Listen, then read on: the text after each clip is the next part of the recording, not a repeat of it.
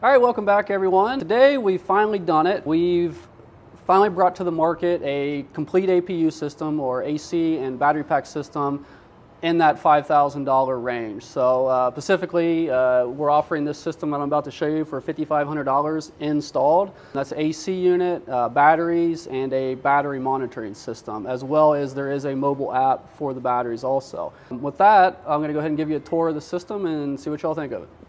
Okay, so we're here at the back of the truck, and um, as you'll notice from some of the other systems that we were offering, um, we're not discontinuing offering the other systems. I mean, there's a different spot for where you're at in the market, so we want to have a wide range of offerings for folks out there and for fleets, uh, individuals.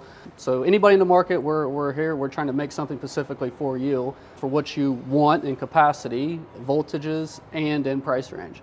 So this particular unit, you'll notice there's nothing on the back of the cab. There's no additional battery boxes in the frame or on the sides. So nothing back here.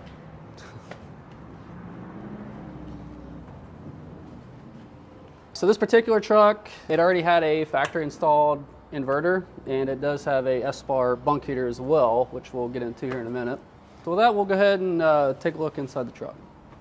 Okay, so first of all, we have a remote control um, and there is a panel mounted as well that uh, came out as a really, I think, real clean install here. So we've actually, so you have your Espar controller, your um, inverter controller here, which we're already installed in this particular truck, and here is our AC system panel as well. So no wires, everything came out pretty nice and clean on this particular install. And everything was really packaged very well. So we have a unboxing video of the particular unit I'm about to show you. So if you want to see everything that comes in the kit, um, if you're a do-it-yourselfer, that's an option as well. So um, we have those. We have a link to the vendors, uh, manufacturer's website, and uh, you can also buy those through us if you wanted to as well. And like I said, we are putting together a complete installed package at the with this with everything you're seeing here with the addition of a battery monitor as well so that has alarms. And you get the low voltage it can give you a buzzer alarm to wake you up or whatever happens whatever preset parameters you like. So so that's the controls. We'll go ahead and open up the bunk here.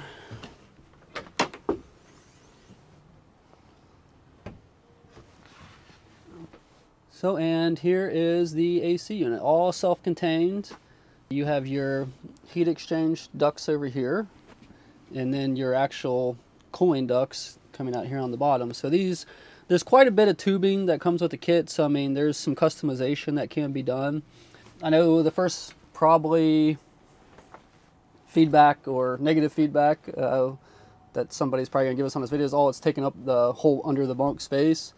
In this case, it is kind of true. And, and, unfortunately, I mean, we already had this Espar unit installed here and the inverter over there. So if these weren't installed, or if I was putting everything in at once, I could move this around, probably lay this out a lot better, a lot more compact. The one issue with this install is that you have these two large ducts. So these are roughly eight by eight squares for those flanges.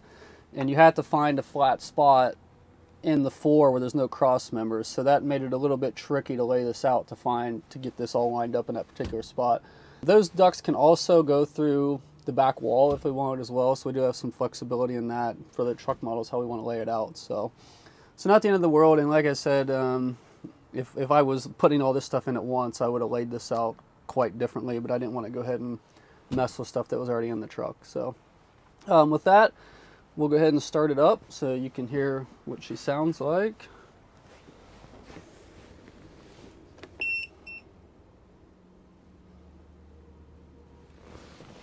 Starting up and I've already got it set to the highest fan setting.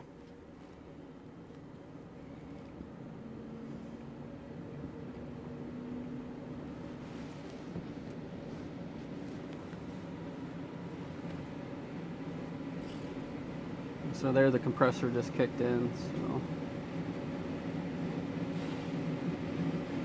And a, a very, very high amount of airflow. So I'll grab a thermometer as well.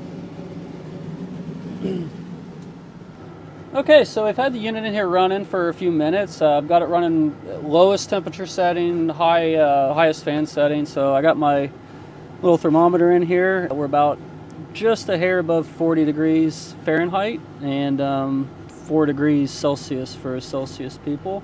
Didn't mention it earlier, but uh, the unit here is rated at 8,000 BTU or 2,200 watts, I believe, if you're looking at coolant capacity in watts. With that, um, we're going to go down to the battery bank, and uh, I got my clamp meter out there, so we're going to see what we're pulling as far as amperage goes right now at the highest setting. So we got our DC clamp meter here.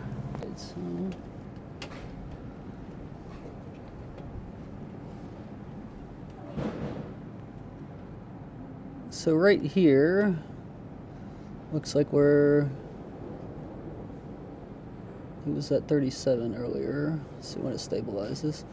So right now we're showing about 30, 38 amps at full capacity. Okay, so um, I went up there and uh, turned our blower down to the third setting and then lowered our thermostat to uh, about 20 degrees Celsius, which you can change it to Fahrenheit, but 20 degrees Celsius is pretty close to room temp, around 70-ish.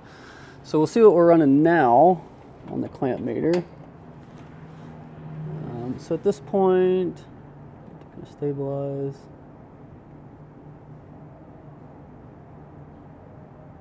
So right there we're roughly around the 22, 23 mark. So you can see the difference in settings. So if you're running the full blast wide open, um, this particular system, battery system here is a 400 amp hour system. So we got four 100 amp, 100 amp hour batteries, 12 volts uh, system, ran in parallel. These are a lithium starting and battery bank battery. At around 20 amps, that would give you about a 20 hour capacity roughly. Running wide open, when I was running at 38 amps, it's gonna give you roughly a 10 hour capacity.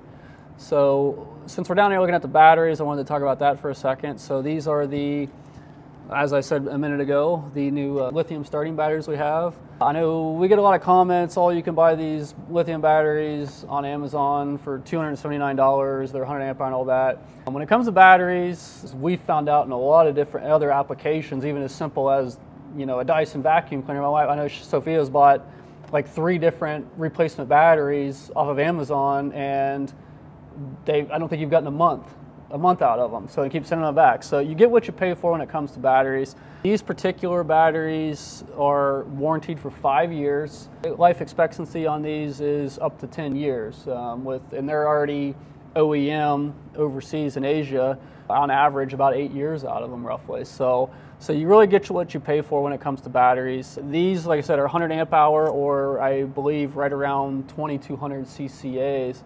Uh, so essentially one of these batteries replaces three regular lead acid batteries, you know, your 925s, roughly if I'm doing my, not quite, but, but close, so if you're doing the math.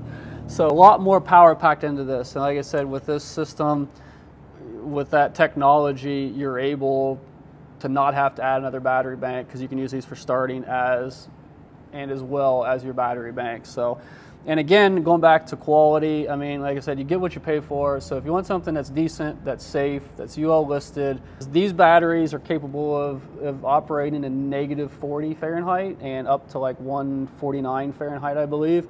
So a very, very wide temperature range again. So like I said, if you're out there shopping, I mean, cheaper is not better. I mean, unfortunately. So, I mean, if you want something that's going to last and is going to perform in all environments and do what it needs to do, keep running, running all your, your electrical equipment. I mean, I would I would not skimp on batteries. So that's just my two cents on that. Another couple features of these particular batteries is that they do have overload protection, uh, fire protection. Uh, if something shorts out, they will shut the battery down. This is a nice steel hard case, which I like, so uh, a lot better protection than the plastic case batteries, in my opinion. Also, since these are your starting batteries as well, they do have a built-in protection to when they, these batteries draw down to 10%, it will shut the battery off, so that way you can still start your truck up. But you have to either, there is a Bluetooth app where you can monitor the batteries, you can monitor the charging and all that good stuff. I think we did a video on that earlier where you could, if you want to see that, that feature, um, you can see that as well. Uh, we'll put a uh, link to that, that video in the uh, description. If you want if you're wanting a just battery video. I know we've went over a lot, but if you want just a, a, just battery video, that, that would be the video. So you can either use the Bluetooth app or hit this. There's a little buttons, which they are right now in our, the first generation or the, the first batch of batteries we got. The the uh, on-off switch is in the center, which um, as you all know, uh, the battery most of the battery boxes we have you have this hold down bar in the center so on the future batteries the switch will be moved over to one side or the other uh, so that way you have access to that switch. But you, so if the batteries do shut down at that 10% mark, you either have to restart, uh, you know, like I said, it's protection feature so you, your batteries don't go dead and you can't start your truck. You either have to turn the batteries on manually or you can get on the Bluetooth app and you can reactivate those batteries to start your truck up. So, and uh, again, with this system, we are putting in that battery monitor where you can set up alerts where if it gets to 20%, you can have it throw an alert and start the truck up and, and charge for a few hours. So. This particular truck, which also, this truck is going to be for sale here shortly. We'll put out some content on that. We've done a lot of work on it. But this particular truck has a 240 amp alternator on it, so it does have a little bit hotter alternator than most trucks out there. I guess you could say most of them are in the 160, 170 amp range. So when we was monitoring this, when we were doing the battery video, I had the clamp meter on as far as the charge rate, and I believe we were around 160 or 180 amps that were to the batteries. So using that, um, that amount of amperage, you would essentially charge this 400 amp hour system in under three hours, uh, 100%, so at, at, that charge rate. So pretty quick charging. With these particular batteries um, and with all of our lithium systems, you don't have to upgrade your alternator and you don't need to upgrade everything to 2-aught cable throughout the entire system or, or heavier to handle that amount of charge for you know a large amount of uh, just the way that lithiums and I mean AGMs are still an acid battery just the technology is a little bit different but they they still require they charge very very different than what a lithium battery is and the charge times are very different. So that's why you see in those other systems where you've got to put on these 300 amp alternators and upgrade all the wiring and everything throughout the truck, which can get very, very, I mean, this particular 2-aught cable, I know my cost on this stuff is like 15 $16 a foot. So, I mean, if you're running 20, 30 foot of wiring, because you got to run a, a, red one and a black one, positive and negative, I mean, you can get into $1,000 of wiring really, really quick. I mean, terminal connectors, some of these are 10, $15 a piece. I mean, just battery jumpers, I mean, you need six or eight of them in here, so you can get wiring can get very, very pricey. As far as alternators, high amperage, high performance alternators can be very, very expensive as well. So. Okay, and just kind of to wrap up here, so if you're interested in any of the things we've talked about today, you can give us a call, check out our website. Um, if you're a do-it-yourselfer and you're interested in just the AC system, we have the manufacturer's website. If you want to go through us, you can go through us as well. Um, we can get them. The batteries, we have the batteries in stock right now, so if you want some of the batteries, uh, I think we're, at this point, I don't think anybody else has them in the US right now. Um, so we do, I think we have 10 or 12 of them here. So we do have them in stock and we can get more on the way.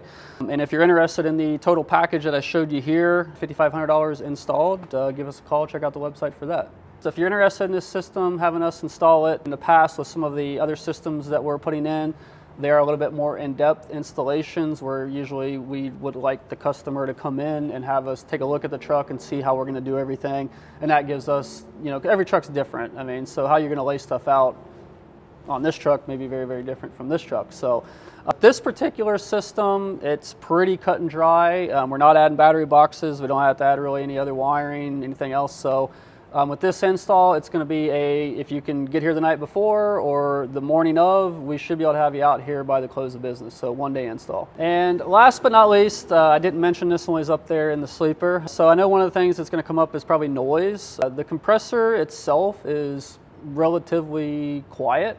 The, the blower is going to be the loudest thing with, with any system out there. So I mean, I would compare the noise level to this of that of a blower in a TriPac or uh, I mean the TriPacs are pretty loud. I mean louder. Uh, so I, I, would compare it to that as far as a noise level. Um, and the blower noise basically overrides the noise of the uh, AC unit itself. So, so relatively quiet um, as far as industry standard goes. So that pretty much concludes today's video, guys. Uh, so if you check out our website, we're offering a lot more products right now as far as the, the 360 kind of fleet approach uh, with uh, AC units, batteries. Uh, we have the diesel force now. uh, the DPF cleaning emissions products that we're working, we're a direct distributor or dealer for several different emissions products lines as far as your sensors, DPFs, SCRs, DOCs, uh, clamps, gaskets, all that good stuff. So if you need that stuff, check us out. And lastly, uh, kind of give you guys a little teaser here. I got this little box that is uh, very, very interesting. So uh, a lot of capabilities here that are not available on the market right now. and I believe this is the only one in the country at this point. So um, yeah, so we got this in. Uh, stay tuned for the next video and I'll tell you all about this. All right, and as always, if you're new to the channel, please subscribe, uh, hit the bell for the updates, and uh, give us thumbs up, like this video.